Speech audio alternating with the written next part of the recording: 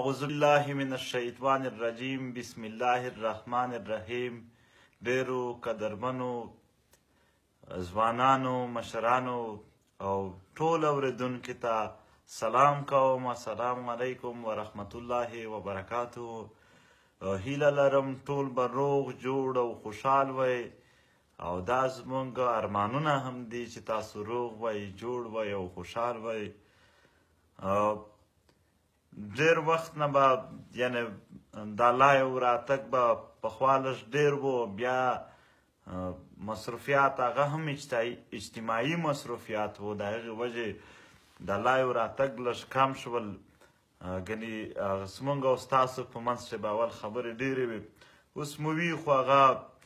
یا په یو ځای شي اجتماعي پروګرام یا بل ځای شي خو بیا هم څه داسې فکري کنفیوژن وي چې هغه به ډېره ښه وي چې کله کله هغې مطابق هم خبرې کیږي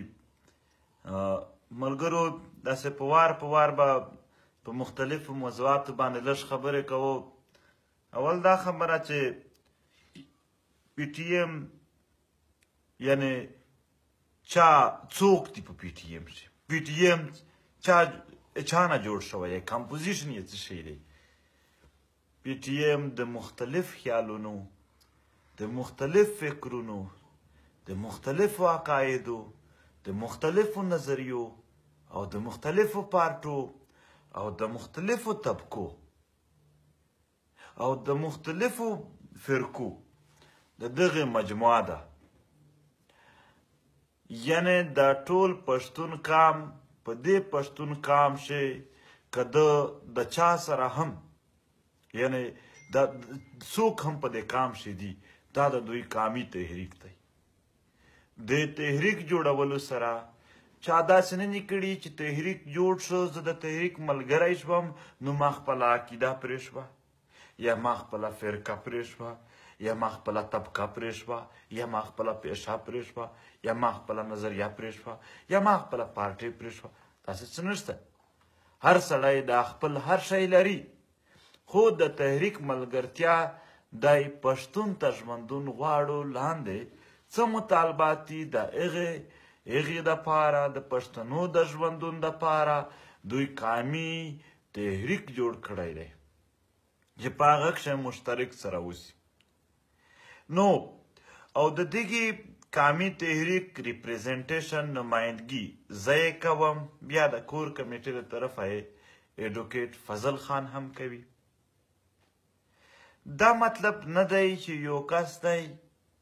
یعنی هغه د پی ټی ایم په حمایت چې پوسټ کوي نو هغه خپل ذاتی نظر نه لري دی د خپل ذاتی نظر لاندې هم پوسټ کولای شي د پی ټی ایم په حمایت چې هم چې د پوسټونه کو د ذاتی نظر مطابق یې کوي نو د دغه په حواله سره دا نه ده یعنی زه مثال درکوم یو کس دی هغه په پی ټی ایم چې دی هغه د یوې رای خلاف دی بل کس دی هغه هم په پی ټی ایم چې دی هغه د یوې یوې یواره هغه رای په حمایت چې دی او دا رای د پی ټی ایم د مطالباتو نه هم اوړته نو دا د دوی ذاتي رایې دي چې هلته یې سره قایم کړي دي دا د پی ټی ایم نظر خو نه دی د پی ټی ایم پنځه مطالبات دي په هغې باندې خبرې کوي او نور چې د پښتنو د ژوندون کومه خبره وي په هغې باندې یې کوي اوس که دا دوه کسان یو وایي چې دا خو په پی ټی ایم شه زما مخالف نظر ولس کاسته نو زه پی ټی ایم نه کابل به هم دغه وای چې دا زما مخالف کاسته نو دغه څه شي دي ولې چې تا یو داسې پاینټ منځ ته راوړ چې هغه د پی ټی ایم په مطالباتو کې یا د پی ټی ایم چې کومه بیانیه له پاغه کې موجود نه دی نو په هغې باندې دا اختلاف بیا ضرور راتلی شي او هغه د هر چا شخصي دی د پی ټی ایم بیانیه مونږ هر وخت وخت به وخت په خپل فیسبوک باندې هم او په خپل ټویټر باندې بیانوو دا کام اتفاق اتحاد یې په مخصوصو مطالبو سره کړی دی دوی لپاره چا خپل هر تیر ژوند قربان دی لہذا د هر چا خپل ذاتی نظر په بنیاد باندې پی ټی ایم ټارګټ کېدل دا خو بیا د پاکستان خفیه ادارې هم زموږ سره دغه کار کوي چې هغه یو کس دلته خپل ذاتی نظر بیان کی بیا به دای وایي چې دا خو د پلانکی ملک حمایت سره ټول پی ټی ایم دی لکه اسرائیل ولا یو کس خپل یعنی خپل نظر وړاندې کړ د خپل نظر په بنیاد باندې دوی ټول پی ټی ایم باندې داغ لګوي دا خو د پی ټی ایم یعنی بیانیه ته یعنی یو څوک کې جواب د بیانیه نه لري یا یو څوک ته د بیانیه داسې بیانیه ده چې هغه رښتیونه ده هغې سره بله طریقه ورته جوړیږي نو په دې طریقه ټارګټ کوي ته خو هسې یو خامخا د چاته یو لار ور جوړولو اوله غبه جوړ شو بیا یعنی ذاتی زما یعنی زمونږ څه نظر دی د پښتنو باندې روان جنگ متعلق په پښتنو باندې روان جنگ زما په نظر شته د پښتنو جنگ نه دی نه پښتانه سره رټ دي مغربي دنیا روس چاینا امریکا یو بل لغس نور ملکونه دا یو بل سره بیلانس کوي هغه د پاره ډګر دلته جوړ دی میدان یې پښتونخوا جوړ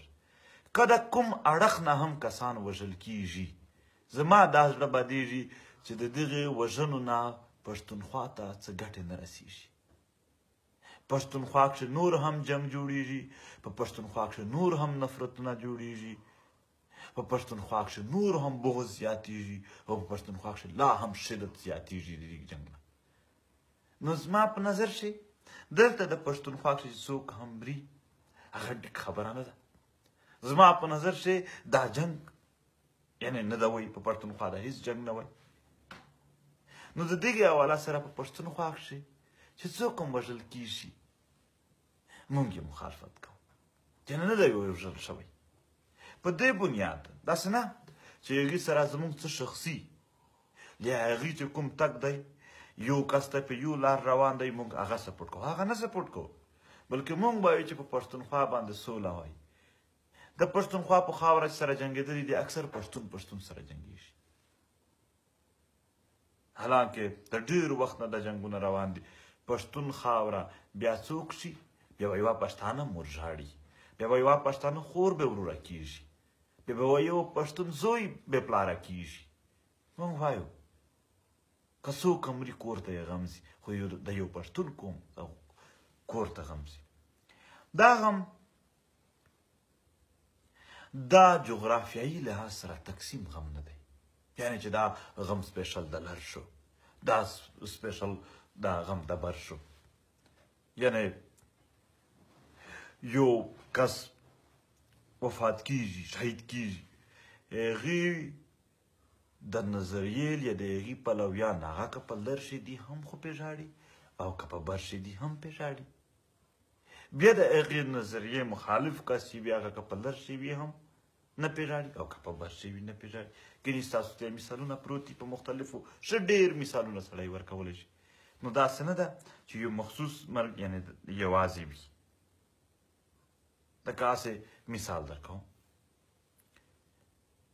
کندوز چې واقعا وشوله دلته هم خلکو په غم کړی دی هلته هم خلکو په غم کړی دی خو ځینو خلکو دا نظر لري چې نه دا دا ټیک وه هغې هلته هم ویلي چې ټیک ته دلته هم ویلي چې ټیک نو په دې باندې تقسیم نه وه چې دا غم سپېشل د هغې و د دې کې نه د پښتون خاورې و نو داسې څه متفرقې هم جوړېږي یو اهم خبره په پی ټی ایم باندې څوک خپل نظريه، خپله عقيده، خپله فرقه، خپله سياسي وجود دا حاوي کولای نشي نه دی کوي ځکه چې که موږ د یو ول ومنو بیا هغه بل ځي بیا هغه اتفاق نه پیدا کیږي بیا هغه د قامي اتحاد نه جوړیږي که چرته پښتانه ټول په یو نظر وای یعنی د یو یو قسم خلکو سوچ یې فالو کولای بیا ضرورت هم د پی ټی ایم نه و خو د قامي تحریک ضرورت ځکه شو چې مختلف نظر لرونکي مختلف سوچ لرونکي مختلف فکر لرونکي مختلف پارټي دا وی د دې کې مجموعه نه و نو په تحریک سے بقت ان کوشش نه کی چې د چا یعنی د چا بس سپک سپوري وای کولما دی قدر به کوي خامخا به کوي د کام حصہ دی او که په دې کام چې ډاکټر دی هم قدر به کوي دا هم د کام حصہ دی او که په دې کام چې بل یو سیاسي سوچ لرونکی سړی دی هغه به هم قدر کوي دا پی ټی ایم څه شی دی چې څه شی پښتون قام دی هغه پی ټی ایم دی چې په پښتون قام کې کوم کوم قسم خلق کوم کوم قسم سوچونه کوم کوم قسم پارټي کوم کوم قسم فرقه یا عقیدې دي هغه په پی ټی ایم کې هم موجود دي ټول بلا تفریق مرګونه شوي د پښتنو تر راته وشه ډاکټر بچ دی نه څومره ډاکټران وژل شوي دي پرېزیډنټ سیاسي لیډران بچ دي نه د کومې سیاسي پارټۍ کس نه دی وژل شوی ته راته وشولی شي په دې جنګ چې د هرې سیاسي پارټۍ عالم دین بچ دي نه دي بچ او ملکان ملک ملک بچ دی نه دی بچ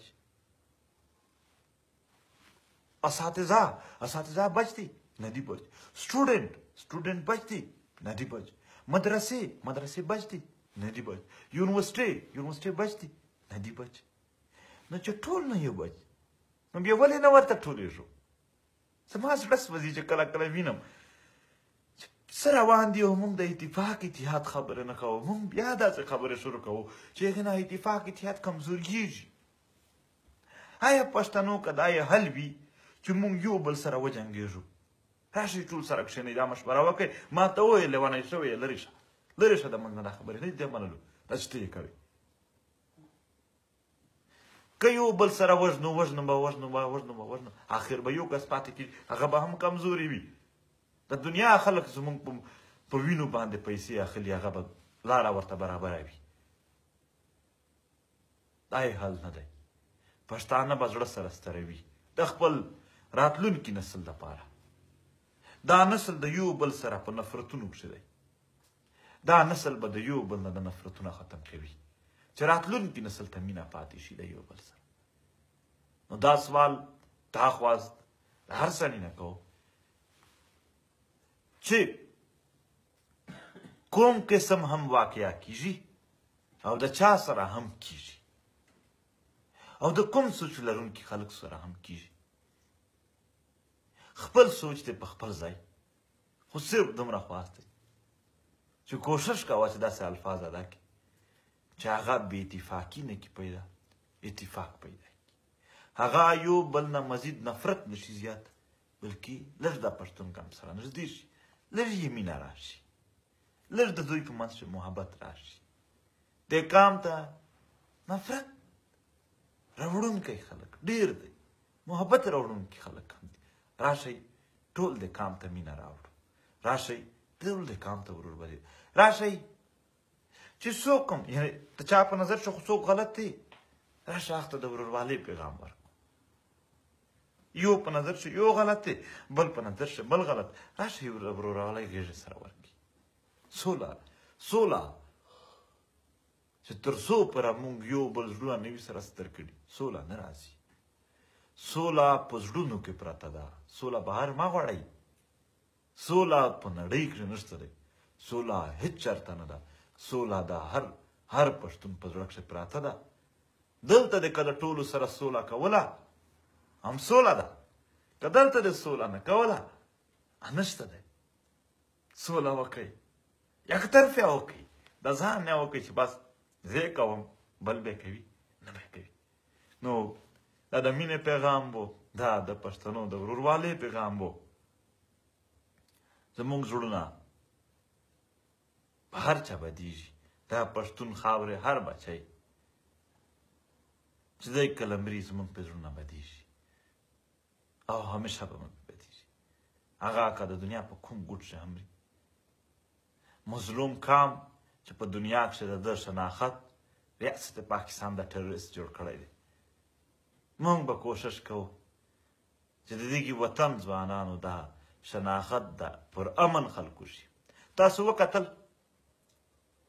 په دې ریاست چې دنه ډېر پر تشدد مظاهره وشولې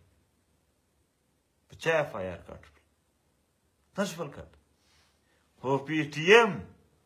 چې د کام مولا هم پکې موجود دی چې د کام ډاکټر د کام سیاسي فکر لرونکي خلک د کام هر قسم خلک پکې موجود دي هغه هغه پر امن جدوجهد کی یو کال یې کیږي چې جلسې هم کی جلوسی نه هم کی هیڅ کمی نه پښه راوړي یو منټ د پاره د یو مریض لار نه ونیوله روډ یې نه کمات د یو ګاډي شیشه یې نه کړې ماتې یو بل پې نه کمات هر چاته چې جلسه کوي د روډ نه ډیر سایډ ته ورته لاړ شي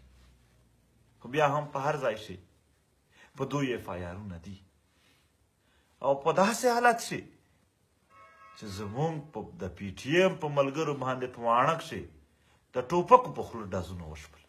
و یې ویشتل شهیدان یې کړل زخمیان یې کړل هغه په بدل کې هم من پر امن جلوسونه اصل او اپ پر امن جلوسونه په اسلام آباد شو ورغلل او د شت کسان یې ونیول او د ترهګرې فایار یې پکټ کړ نن کټ کیږي په بلچا نه یې پښتنو ما دروغجن چې څه راته وایي هغه راته وایي خپل خو لږ سوچ پې وکړئ خپل ځان سره چې ولې داسې کېږي نن د خلکو سیاسي مسلې حل کېږي